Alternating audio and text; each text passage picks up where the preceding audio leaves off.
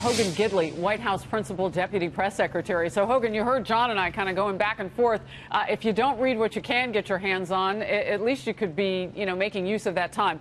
Let's start with Don McGahn and this decision uh, to instruct him not to comply with handing over documents before his testimony later in the month. Is this a final decision?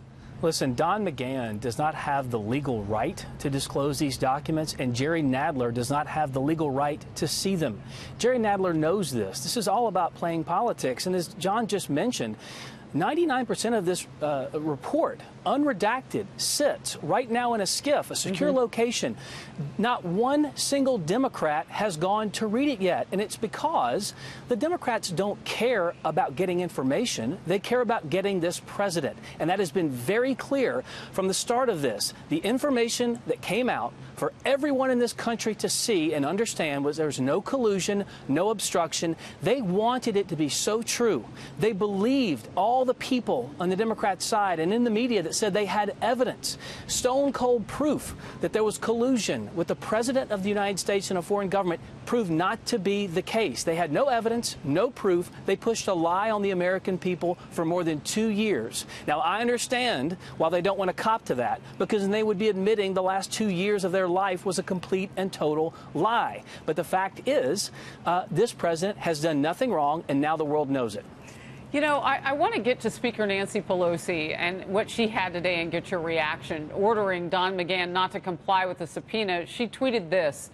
From family separation and border security to health care and pre existing conditions, the Trump administration is standing in the way of countless legitimate efforts by Congress to get Americans answers. This unprecedented stonewalling is unacceptable. And you say what? I have no idea what Nancy Pelosi is talking about 99% uh, of the time, and it might just tip the oh scales to 100% just now. We have been more transparent in this process. We gave over 1.4 million documents, 30 plus hours of just Don McGahn testimony, by the way, uh, to, to the special counsel, 2,800 subpoenas, 500 witnesses, 500 warrants, uh, 40 FBI agents, 19 attorneys, and a partridge in a pear tree. Mm -hmm. And we now know there's no collusion and no obstruction. We we have been moving the ball forward on countless fronts, whether it's defeating ISIS, remaking the judiciary, changing the tax code, incredible results with the American economy, uplifting people from the bottom of the scale to the top of the scale. And Nancy Pelosi, in the 100 plus days they've had control of the Democrat Congress, has done nothing except play political games, and it's disgusting. Well, and that, that part about Democrats not reading what is even less redacted than what went out to the public in Congress earlier yeah. in a SCIF uh, is something that you really want well, the American people to know because they could go down the hall and read some of this. I want to. I want move on. But listen, uh, real quickly, Harris. This isn't oversight. This is overreach. They're right. pushing these things. They want information that they know they don't have the right to see, and they know it's illegal well, they can for us change to give the it over rules to on grand jury 6E, and they could see what's underneath that blanket in grand jury testimony if they yes, wanted to. They're, they're, in the majority. All right, I got to move on to the FBI director, okay. Chris Wray, telling a Senate panel today that he would not describe government surveillance such as that conducted on the president's 2016 campaign as quote unquote spying, as Attorney General William Barr has said. Uh, is this a break between the FBI and the way that the White House sees it? Listen, I think it, it, what's more important here is the way that the American people see it, and that's this. We now know someone was sent into the uh, Trump campaign to infiltrate the campaign and get information. We know that a FISA warrant was obtained on a fake, phony, fraudulent dossier.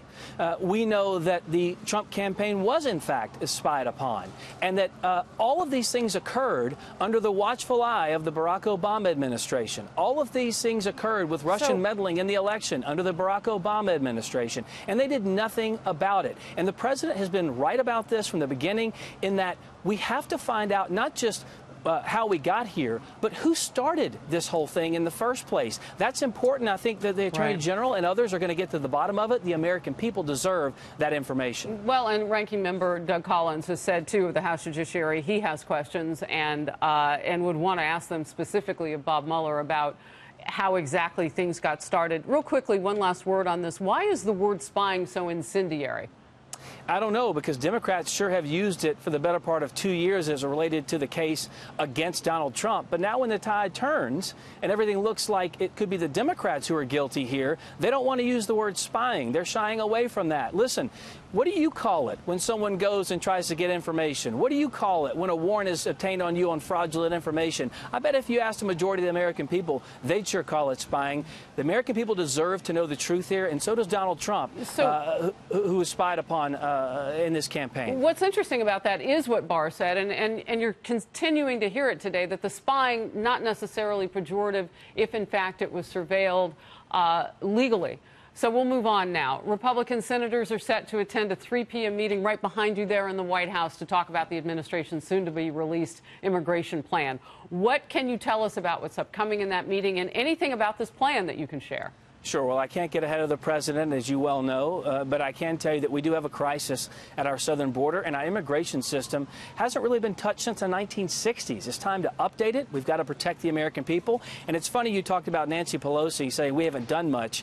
They haven't come to the table at all, even though people are dying in this country based on people who come come here illegally and unlawfully. And Democrats repeatedly stand with those hundreds of thousands of people who have no right to be here, as opposed to hundreds of millions of American citizens. They're going to have to answer that one way or the other. But the fact is, this president is taking the lead. He's not waiting on Congress. We've got to move forward with a plan that not only addresses the crisis as we know it today, we've got to mm-hmm. close those loopholes on the So- southern border, but we have to put forth a complete plan that actually makes a lot of sense, that seems rational, that actually props up merit-based immigration and not the system we have today that is that, that is uh, depressing wages and hurting the American worker. We know today that Border Patrol has caught in the last 10 days 30,000 people crossing illegally. They say that that is an unsustainable number. The drumbeat continues of a crisis at the border. Hogan Gidley outside the White House today. Thank you for your time.